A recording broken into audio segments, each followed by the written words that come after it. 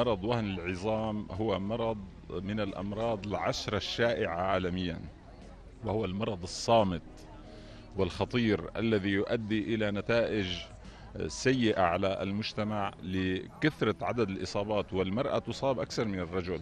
فارتأينا كنقابة أطباء سوريا آه، عبر رابطة وهن العظام آه، أن نقوم بهذه فعالية بالتعاون مع المنظمات الشعبية والاتحادات والجمعيات الأهلية لإظهار الأسباب ووسائل الوقاية باستخدام هذه الوسائل التوضيحية باتباع عادات صحية آه، وتغذوية سليمة آه، لتخفيف حدوث هذه الإصابات عند المجتمع.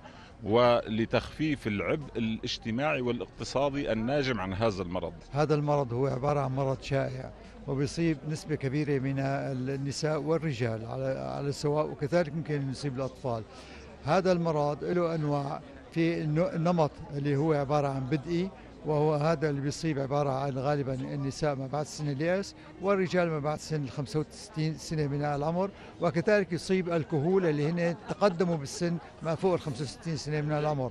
هنالك النمط الثاني اللي هو عبارة عن النمط الثانوي اللي هو بيلي يلي لأمراض ثانية اللي يمكن إنه مثل السكري ومثل فرط نشاجات جراد الدرق وسوء الامتصاص يعني في أمراض عديدة اللي ممكن تسببه. كان في عندنا مؤتمر رابطة الشيوعيين سوريين بعد توقف دام خمس سنوات.